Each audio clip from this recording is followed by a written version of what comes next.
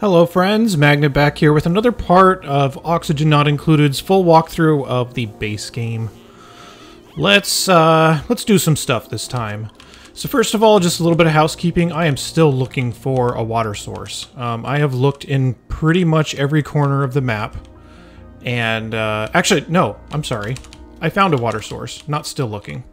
The water source that I found is here. It's way down in the oil biome and it is a polluted water vent. So there you go. That's going to be what I take. If I find anything better than that, like a cool slush geyser or something like that, I'll probably switch on to that.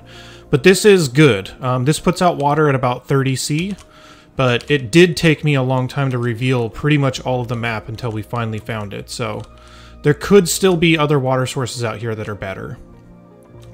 Anyway, uh, since we've been looking for that for so long, let's take it. So what we need to do first is we need to get down into this oil biome in order to start extracting what's here. I don't want to breach this abyssalite because the temperature difference between the bottom and the top is really large. I don't want to open up the oil biome to expose it out to the rest of my base and heat things up if I don't have to. So I'm just going to get into the oil biome now and kind of dig around and be able to secure this while building some stuff on top to contain the water that's going to be coming out of here. Uh, we'll just build a pretty simple setup here. So what we need to do first is if we're going to go down to the oil biome, we have to do it with suits.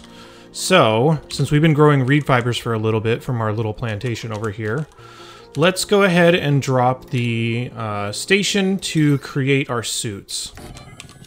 I guess I could di disconnect this. So we need an exosuit forge, and we're going to go ahead and get that done. You'll also want to make sure you have a good amount of refined copper uh, to create those out of. So if I need a little bit more, I always can. Um, as soon as we get our water secured, we will have a new way of refining metals shortly after this that I didn't want to do until we had a good amount of water reserves. So, uh, we'll get there. Now, once you have your exosuit forge done, which as soon as uh, Turner is done building this, we can get those going.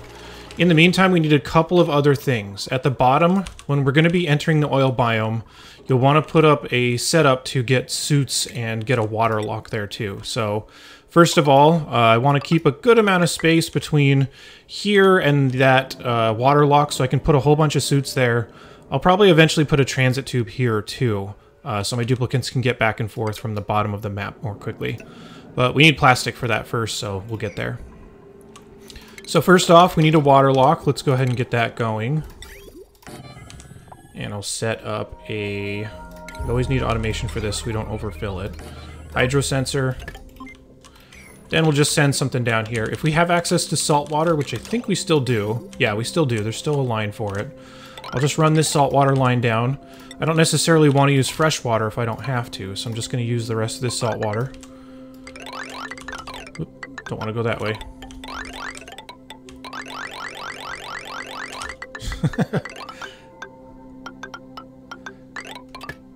ah. Almost got it. So yeah, we'll fill that up. We'll get our duplicants uh, working on this, and in the meantime, we will start setting up the other stuff above ground, which is just going to be to contain all the water that comes out of here. Ideally, I don't want to be constantly sending water to this, because I don't want to overfill it. I would really mostly just want these tanks to be filled. So that's going to be my aim.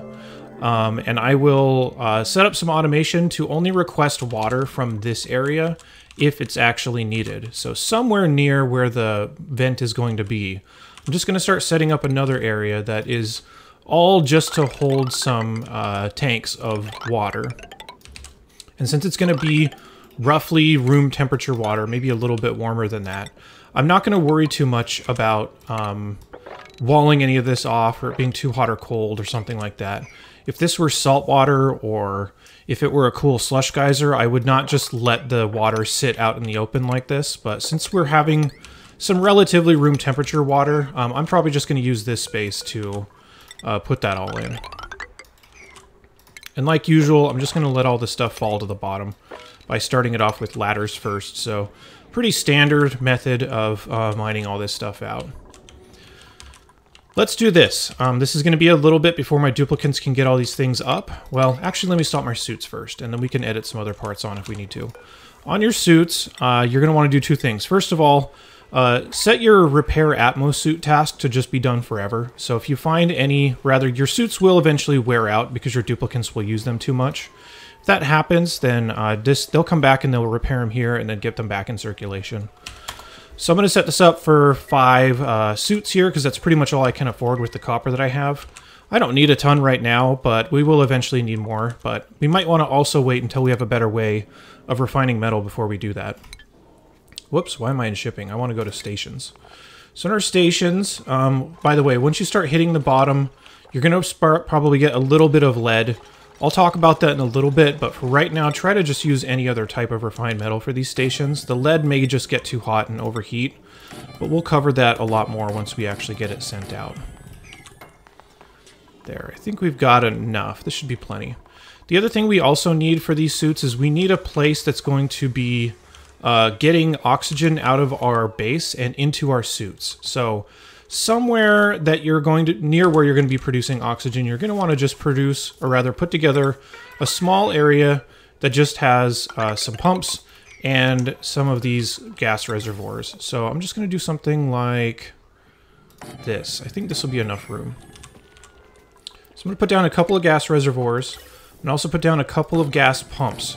You might not necessarily need two right away, so if you want to, you can only get one, but it's it's up to you. I'm fine with two, only because I'm eventually going to need two.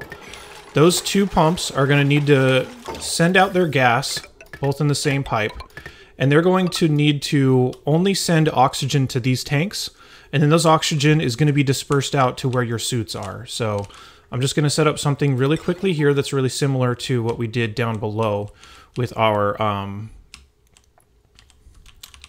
uh, ventilation, which is not all the way down there. It's right here. I was like, why am I going all the way to the bottom of the map? So if something is not oxygen, then I want to pump it out. If it is oxygen, I want to let it pass. So, oh, I did this wrong. Let's go this way. There. Now, I probably also want to hook this up in order too, so let's do this actually. We'll draw it through here first and then through the other side. This is just so that this tank gets filled up uh, last and it empties first, so that these kind of work in conjunction as one big tank. So, we'll put our gas shut off here, and we'll connect it like that. It's just going to steal uh, gas away on the space next to our, our element sensor. And then if we detect something that is not oxygen, we want to just uh, send it somewhere else. And I will just send it into a separate tank and then vent that tank. The ta extra tank is just in case uh, we can't actually vent it. We don't want our system to get all blocked up. So if we detect something that is not oxygen, we're going to send it down this line. And this line is just going to vent right here. We could actually just vent it on a different level rather than right above it if we wanted to, so we could just do that. Eventually this won't be as big of a deal once we can get some different uh, vents. You can get this high pressure gas vent, but we need plastic first, which we haven't talked about yet, so not going to worry about that quite yet. There. Okay, so now we got all this stuff going. Um, this setup, like I mentioned, is just going to be exclusively for oxygen. We'll set it all up when we get there, but also I don't want these to turn on until I'm ready. So I'm just going to draw a wire into these to not let them turn on until we actually hook it up the way that we want to. Alright, how are we doing elsewhere? Okay, this is probably a good time to uh, take a small uh, break here. I'll edit the next part on when we get there, so give my duplicants a second to build all this out. Okay, duplicants have gotten a bunch of work done. Let's get the next part of this. So we need to have their suits delivered. So what I would want to do first is I'm going to set a higher priority on these uh, stations. I'll ask them all just to deliver their suit. And then a duplicant should bring here it bring it here in a second. We also need power, and since we're going down in the oil biome, I'm probably going to need a lot of heavier power down here. So for now, we can replace this later, but I'm just going to draw a heavy watt wire all the way back up obviously not intersect with wires that are already here, so I need to get this out of the way. There we go. But we're going to need to connect a heavy watt wire all the way up. This is the easiest way to do it for right now. We will probably do this a little bit different later, but if we also have a um, transit tube access here, it's going to take a lot of power also, so having it directly wired to the heavy watt wire makes sense. So, uh, the other thing that we need is we need to start sending oxygen to these stations. Now, Our system that we just barely set up is right here, now that it's all done. I still have this only connected to an automation wire, and nothing else, meaning that these can't turn on yet. So first thing I need to do is set this to be oxygen, which, again, just to review really quick. When it comes out of these pipes, uh, it's going to head into this detector first. If this detects anything other than oxygen, it'll turn this on and it'll steal it and it'll go down to here and it'll blow it back out into my base. If it is oxygen, it'll just allow it to pass. It'll go into these tanks and then it'll go back down to our uh, setup at the bottom where all of our stations are. Lastly, I'm just going to wire my automation together like that into these pumps. I'm going to prioritize this a little bit higher because I am making this out of lead which is fine for like automation wires and stuff if you're not worried about them melting. Um, and I'm going to set my uh, parameters on this tank really quickly. So I'll just set it to like 80-20. Always a pretty good amount to set on these things. Basically, if the tank is low, it'll ask these things to turn on. If the tank is full, it'll turn them off. So this is just a nice, convenient way to send something that you know is for sure oxygen around to the different sources that need it. It'll be like these stations that we talked about that contain our suits. It'll eventually be things like our telescope that'll require us to send oxygen to it. And we'll get all this stuff taken care of. The other thing that we need to do to prep for our water, we're kind of doing both things at the same time, which is a little bit awkward, but the other thing we want to do for our water is start to get this ready and set up some stations to hold the, the polluted water that's going to be pumped out of here. And I really do like the reservoirs only because it's a good way to store things without needing to spend extra power to move it around. Once I spend the power to pump it into the reservoirs, then that's plenty. If I need another row of these, I can always add one. Um, I just carved out extra space in case I really wanted it. But this should be fine for right now. Um, yeah, that's fine. So duplicants are just going to get building on that. This uh, setup down here, we're obviously going to need to crack into uh, the oil biome, and that's going to take a little bit to get everything built up. It's going to take a little bit to send our oxygen down, which we can see it flowing now. Here it comes. But here's the idea, is these two pumps just continue to send something out. Because this sensor is detecting oxygen, and rather it's it's detecting something that is it's not detecting something that is not oxygen. There we go, the carbon dioxide, uh, proved my point. if it detects something else, it'll just go down this side and into this tank and then get blown out into our base again. So, this is just a cheap way to make sure that we have our oxygen uh, set up in a way that we know we're getting oxygen there and we're not accidentally pumping something else into these stations that will damage it. So again, let me give my duplicants a little bit of a break, give them some time to get all this stuff set up. As soon as this is filled up and as soon as we have a liquid lock, we'll crack into here and we will start setting up our system to send water back up to our main area. Okay, just about entirely sealed. Duplicants got everything powered up. We have oxygen flowing. Let's start to crack this oil biome open. So, uh, what we can do is start to just dig in here like this and build a ladder down. I also like to build a fire pole down so they can get in and out faster. You also want to stay away from some of these pockets of oil for the time being until we have more opened up, by the way, because look at this oil. So this oil is at its natural resting pressure, maybe like 900 kilograms a tile, something like that. This one is tremendously more. If I crack this open, this oil deposit right here, it will back pressure up and maybe flush into here, which I really don't want to do because that may start causing some problems. It could overheat these stations. There's a bunch of things it could do. So I'm going to stay away from it until I have the space opened up around it before I crack it. So we'll start to get in here. I'll prioritize this a little bit higher and we can just build some ladders over there. Uh, probably not through here. Let's go this way. And all we really need to do right now, we'll deal with the oil in a minute. Uh, it'll probably be not the next video, but the one right after is when we're going to start getting all of our oil set up. We just had to come down here to get our water in the first place. So we want to come up to where this is. And it looks like we're going to have to shape this out about like this. Come on, game. You can do it. There you go. We need space for uh, our pump and some automation, stuff like that. Actually, the ladder's probably going to have to be on... Mm, misplace this a little bit. Let's do this instead. Cancel that. Because we're going to want to build a ladder down here so our duplicants can get in there and work on it. This is where the geyser is going to be. We'll see it when we actually dig it out. Then the rest of this is just going to be for our pump and automation and stuff like that. We could have actually come in from the top right here. Um, now that I'm looking at this, it wouldn't have really been all that bad. But it would have heated up a lot of the stuff around here too. Um, and I guess if we were going to be entering the oil biome, we might as well keep the abyssalite intact because that's going to be the best thing that's going to prevent heat transfer in the long run. So yeah, whatever. I guess it doesn't matter too much. We will need space to walk up here, so just a couple of uh, tiles of insulated igneous rock ought to do right here.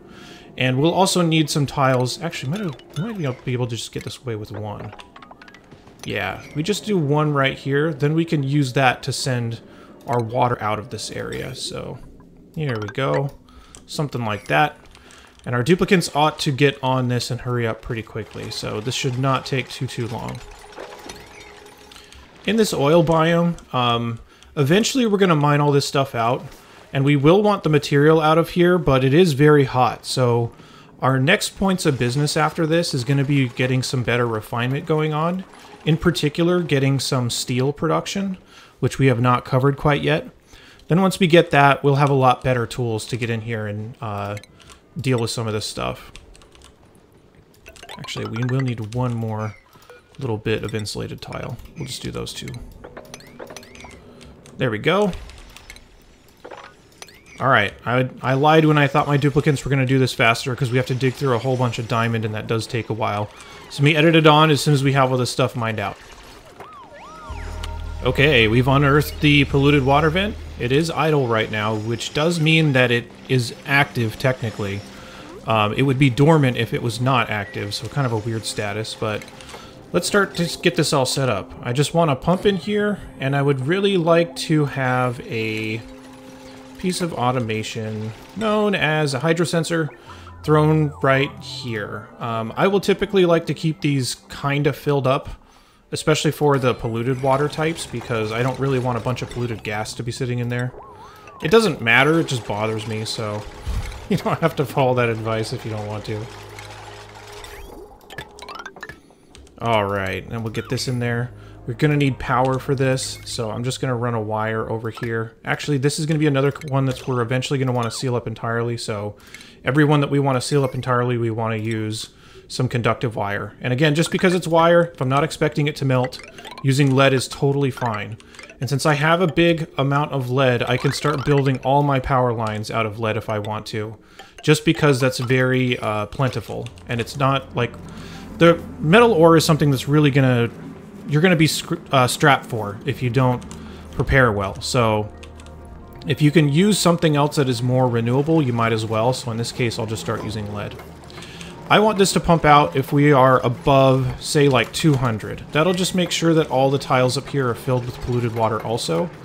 The characteristics of the water that comes out of here is water with a tremendous amount of food poisoning, but like we mentioned before, the way that we've set everything up, the sources that we're going to be sending our water to don't care if it has food poisoning in it. So this is going to be like our plants, our sinks, whatever. As long as you don't let your duplicants drink that water, you'll be totally fine, and this food poisoning doesn't even matter. So, if you've been following along with the rest of the walkthrough, that is definitely what I would recommend. So, let's get this hooked up the rest of the way. Um, I'm also going to add another layer of igneous rock here. Looking back on this, I actually kind of wish we would have just come in from this side and then walled everything off, but oh well. We've already come this way. If you're watching this in hindsight, you don't have to come down through the oil biome to get to here if you're playing on this exact map. So, yeah. Guess we all make mistakes, and might as well leave the mistakes in. Okay, then we're just going to have to run all these up to these tanks. And then these tanks out.